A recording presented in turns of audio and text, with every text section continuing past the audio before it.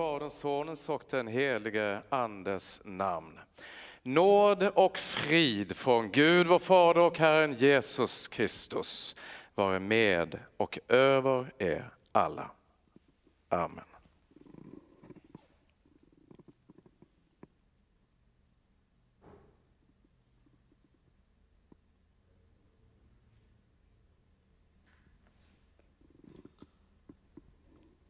Herre vår Gud, med glädje väntar vi på din frälsares ankomst, han som lyser upp våra hjärtan och fördriver syndens mörker.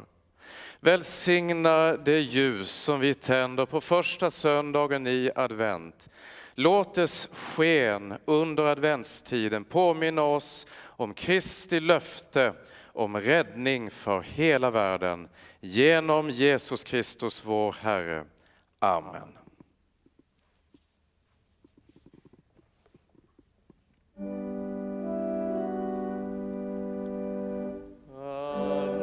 åt Gud i höjden och frid på jorden bland människor som han älskar.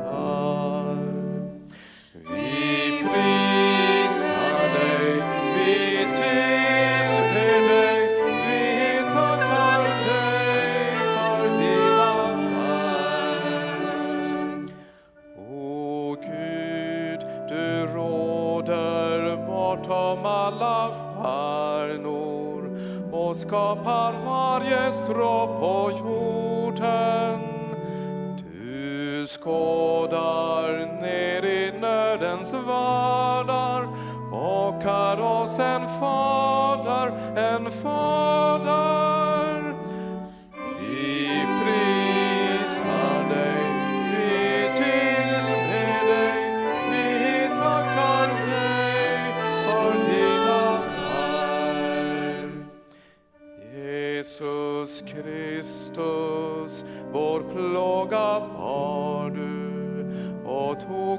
Vår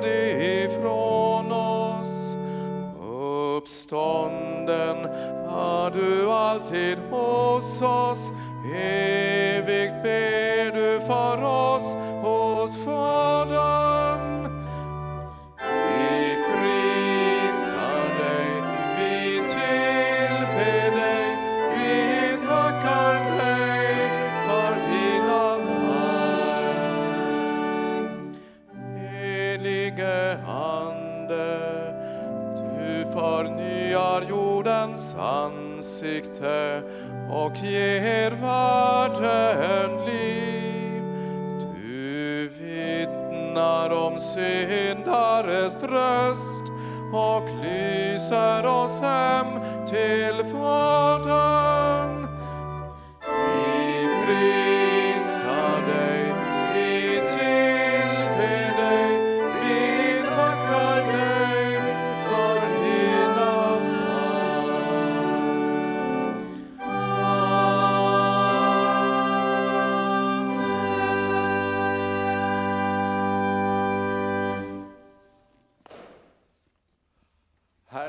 vare med er. Med dig vare och Herren. Låt oss bedja. Nådens Gud, du som kommer till din kyrka, uppväck med din kraft våra hjärtan så att vi med glädje kommer Kristus till mötes och hälsar honom som vår konung. Du som med Sonen och den helige Ande lever och verkar från evighet till evighet. Amen. Hör så dagens gammaltestamentliga läsning ifrån profeten Sakarja. Ropa ut din glädje dotter Sion. Jubla dotter Jerusalem. Se din konung kommer till dig. Rättfärdig är han. Seger är honom given. I ringhet kommer han, ridande på en åsna, på en ung åsnehingst. Jag ska förinta alla stridsvagnar i Efraim, alla hästar i Jerusalem. Krigets vapen ska förintas. Han ska förkunna fred för folken. Och hans välde skall nå från hav till hav, från floden till världens ände. Så lyder Herrens ord. Gud, vi tackar dig.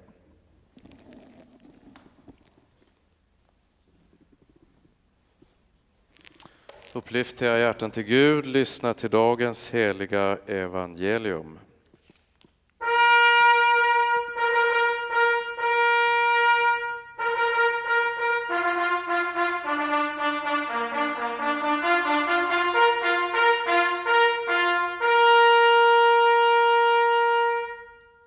Evangelium enligt Sankt Matteus.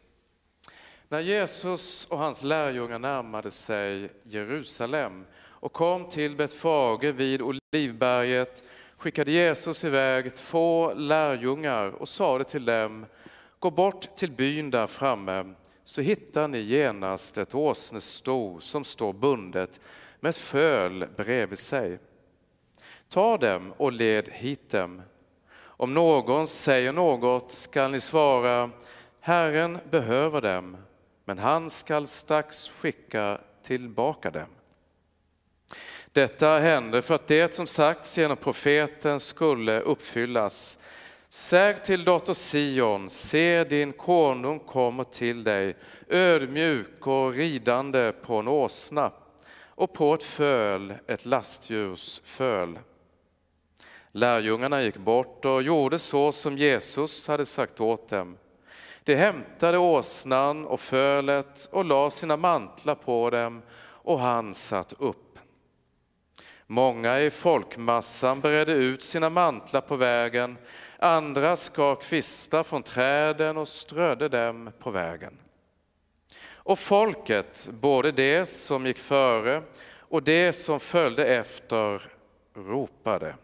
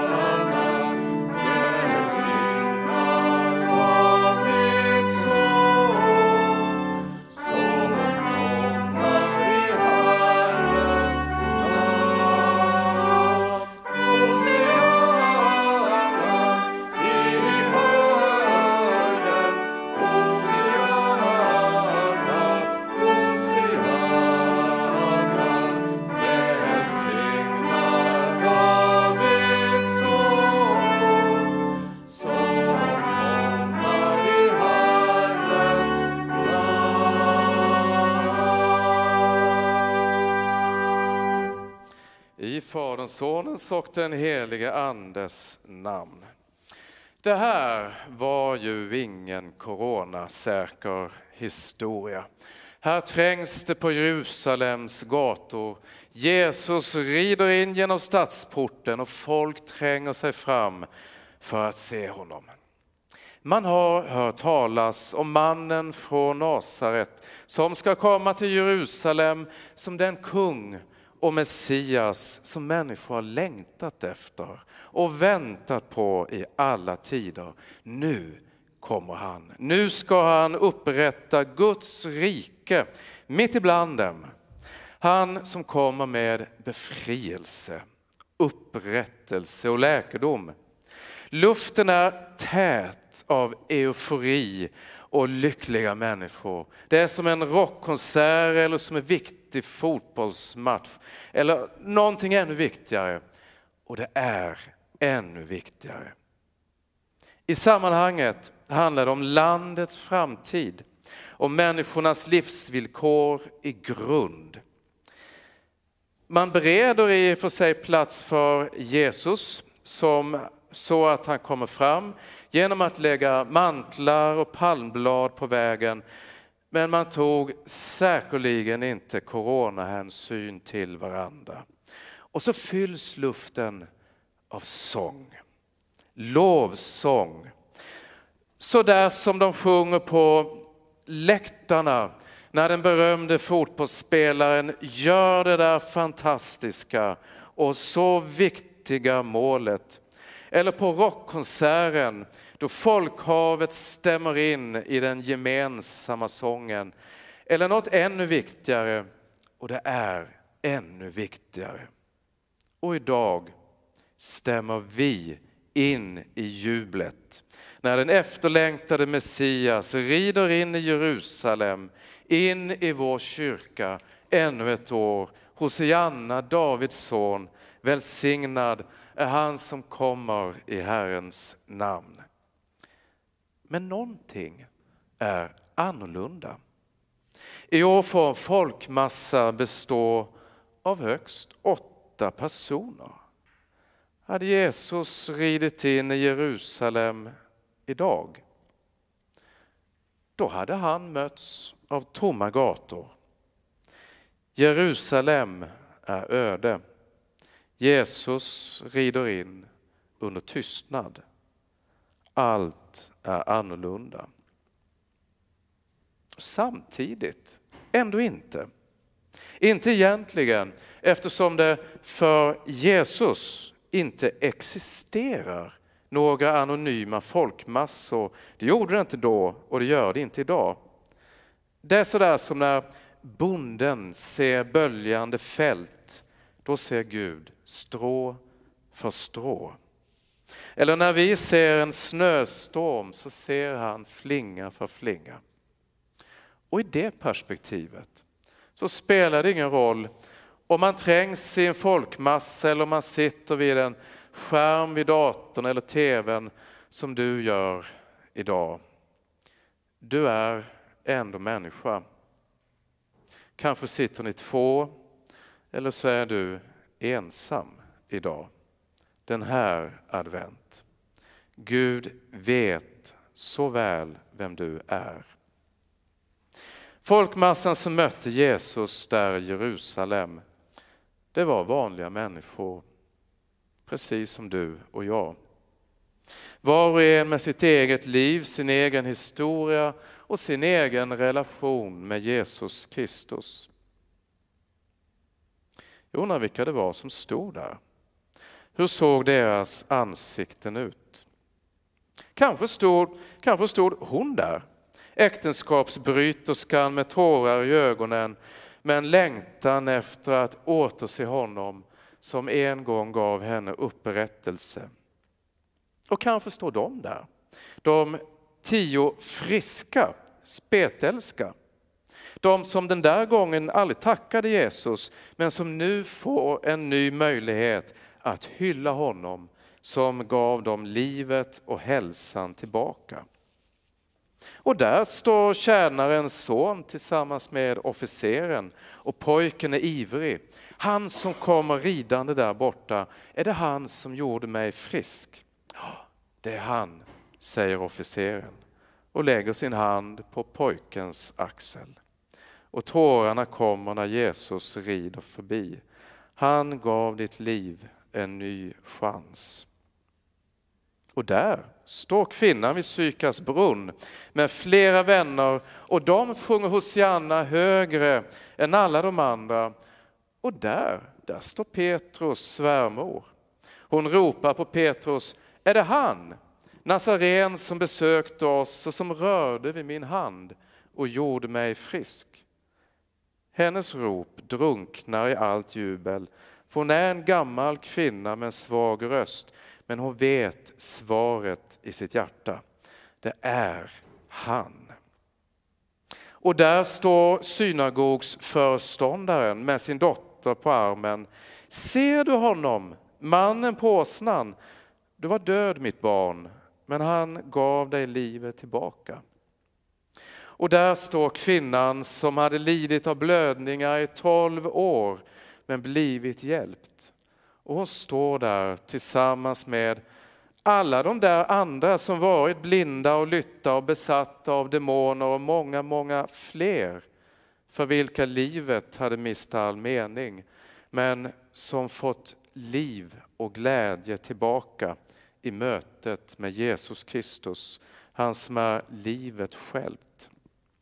Och där springer barnen som hade blivit tystade i templet men som fått sina rop välsignade av honom. Och där står den kvinnan och den mannen och några till som varit med på berget när Jesus mättade 5000 med bara två fiskar och fem bröd. Där står alla de som vet att han är Messias, Guds son, befriaren och helaren av allt som är skilt från Gud. Och du står också där. Gör du inte det? Oavsett var du befinner dig, om du sitter bakom en skärm eller inte, du är där. Om du blundar så ser du honom rida förbi. Vad tänker du? Vad har Jesus betytt för dig? Hur ser din relation med honom ut? Tillhör du dem som står nära åsnan med lyfta händer och sjunger lovsång med sitt hjärta? Eller tillhör du dem som står lite grann på avstånd? Kanske nyfiken, eller misstänksam, eller avvaktande. Fast undrande vad det jublande glädjen kommer av. Eller önskar du bara att oljudet kunde tystna och överväger att byta skärm eller app och istället se på den där fotbollsmatchen eller rockkonserten istället. Men du, det är advent. Lovsången Hosianna i höjden, den låter sig inte tystas. Den tränger sig fram och den dröjer sig kvar. För det är advent i år igen. Hosianna, ordet betyder låt det gå väl. Det är idag den främsta bönen i coronatid. Låt det gå väl. Hosianna, Davids son. Amen. Vi stämmer in i kyrkans bekännelse. Vi tror på Gud Fader allsmäktig, himmelens och jordens skapare. Vi tror och på Jesus Kristus, hans enfödde Son, vår Herre, vilken är avlad av den helige Ande, född av jungfrun Maria, pinad under Pontius Pilatus, korsfäst, död och begraven, nederstigen till dödsriket, på tredje dagen uppstånden igen ifrån de döda, uppstigen till himmelen, sittande på allsmäktig Gud Faders höga sida, därifrån igenkommande till att döma levande och döda. Vi tror och på den heliga Ande, en helig allmännelig kyrka, det heliga samfund, syndernas förlåtelse, det dödas uppståndelse och ett evigt liv. Amen.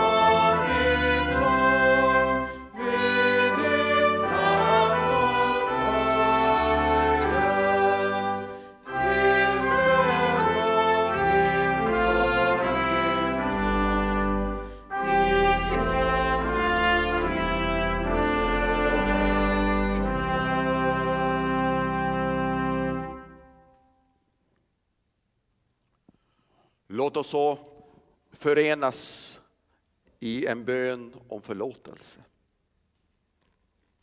Jag bekänner inför dig, helige Gud, att jag ofta och på många sätt har syndat med tankar, ord och gärningar.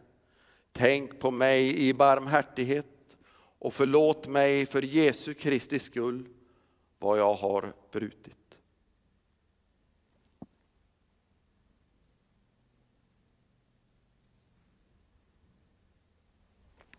Till dig som ber om dina synders förlåtelse säger jag på Jesu Kristi uppdrag, dina synder är dig förlåtna i Faderns, Sonens och den helige Andes namn.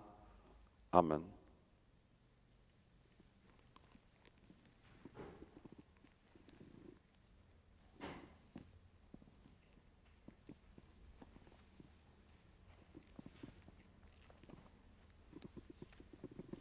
Låt oss be.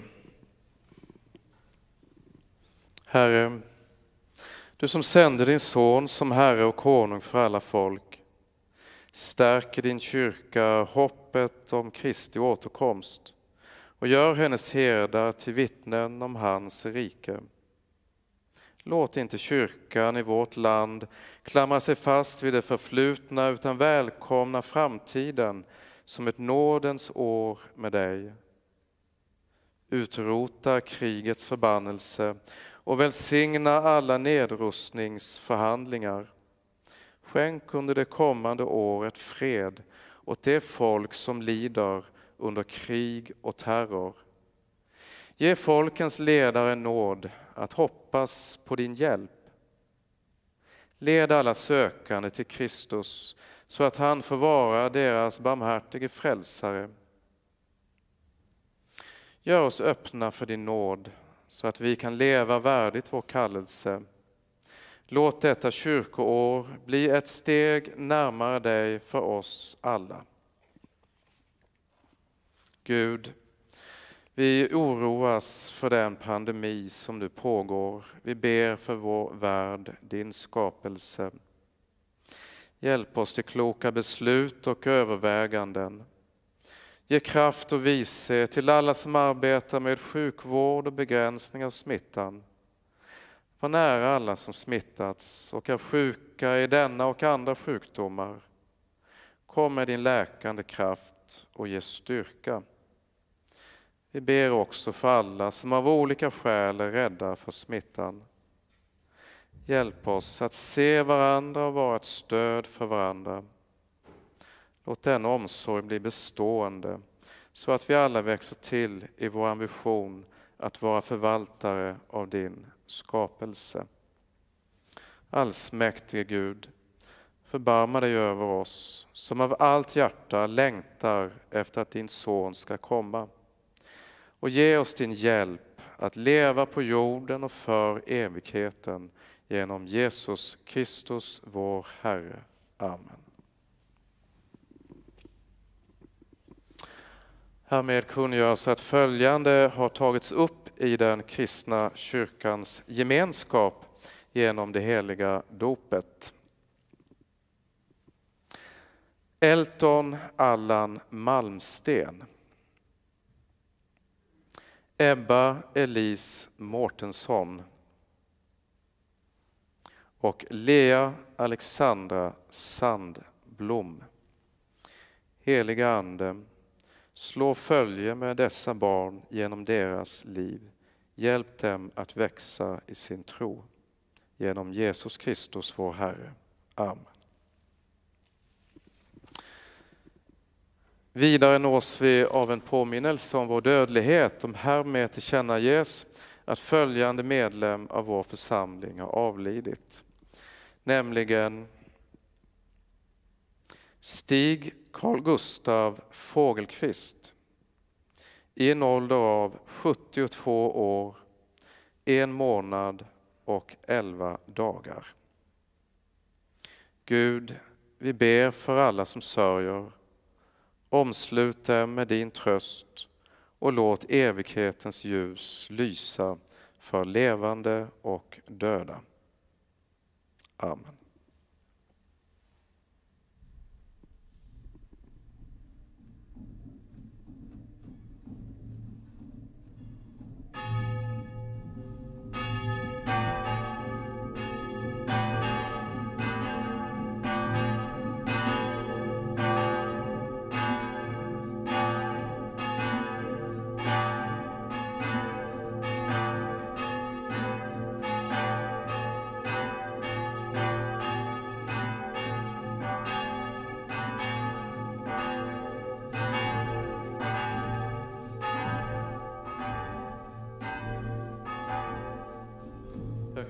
Guds ängel går kring vårt hus. Han bär två förgyllda ljus. Han tar oss vid sin hand, går med oss med evighetshopp till salighetens land. Amen.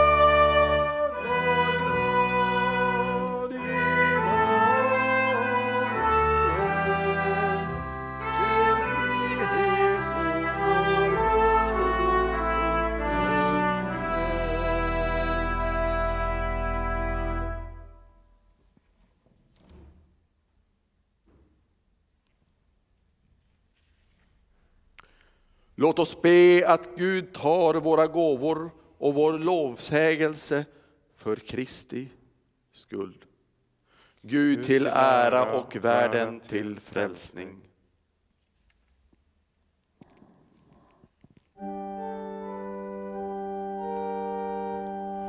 Upplyft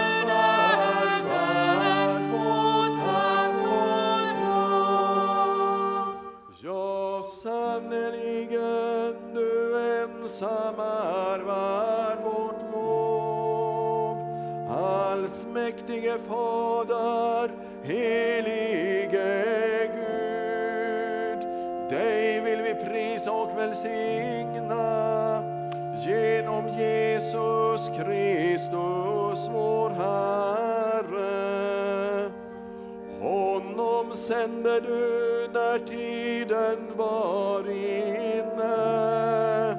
att förkunna glädjens budskap för de fattiga. Frihet för de fångna och syn för de blinda. Genom Jesus Kristus gör du allt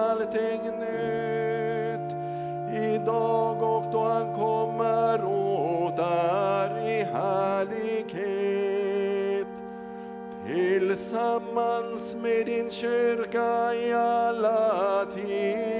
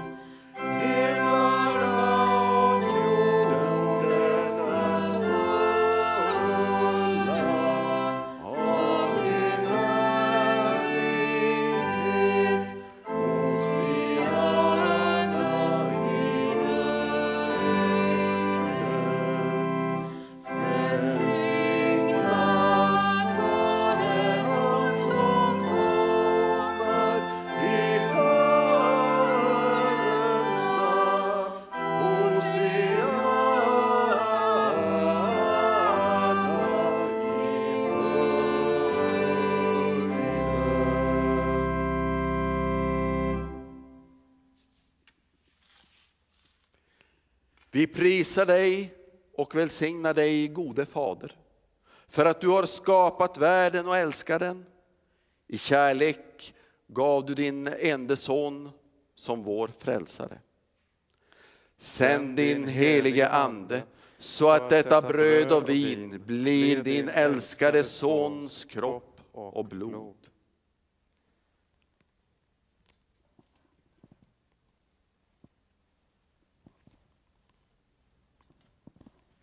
Natten före sin död samlade han sina vänner till måltid.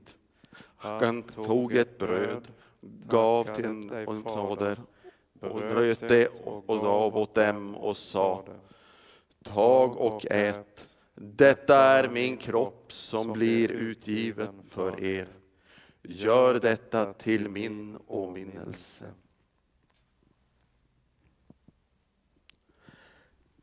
Likaså tog han bägaren, tackade och gav dem och sade, drick av den alla. Denna bägare är det nya förbundet genom mitt blod som blir utgjutet för många till syndernas förlåtelse. Så ofta ni dricker av den, gör det till min åminnelse.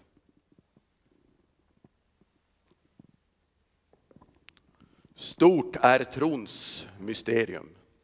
Din död förkunnar vi, Herre. Din uppståndelse bekänner vi till dess du kommer åter i härlighet. Fader, vi firar denna måltid till åminnelse av din Jesus gjorde. Han som för alla på korset, hans uppståndelse och himmelsfärd. Vi frambär detta livets bröd och denna frälsningens kalk i väntan på hans återkomst i härlighet. Hjälp oss att tillsammans arbeta för denna dag, då ditt rike bryter in och fred och rättvisa uppfyller jorden. Se i nåd till hela ditt folk, samla oss i din famn och för oss tillsammans med den saliga jungfrun Maria, dina apostlar och alla helgon till festen kring ditt himmelska bord. Din är all ära och härlighet med den enda Son och den helige Ande, från evighet till evighet. Amen.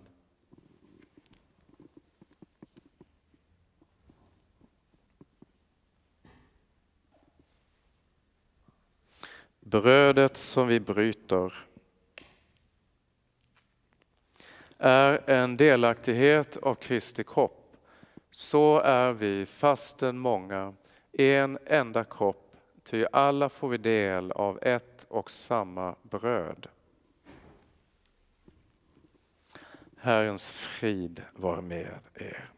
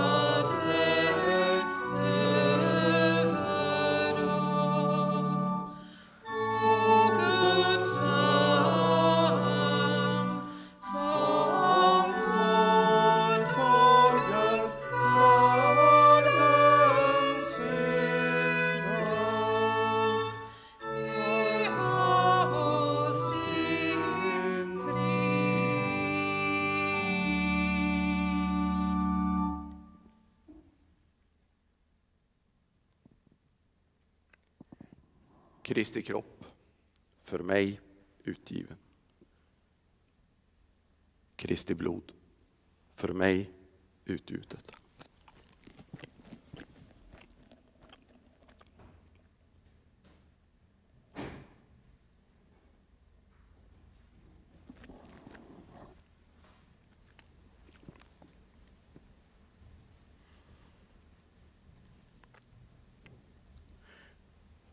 Kristus, du kommer till din kyrka, till var och en av oss.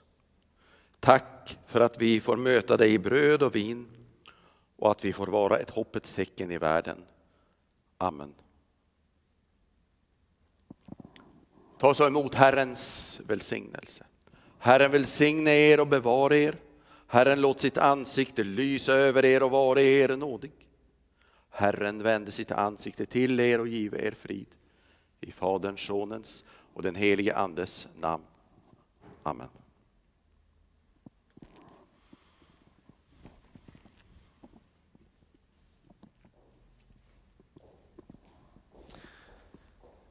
När högmässan är slut så finns möjlighet att komma till kyrkan för enskild kommunion eller om man vill träffa någon av oss och ha ett samtal eller om man vill ta emot personlig förbön eller tända ett ljus, besöka sin kyrka.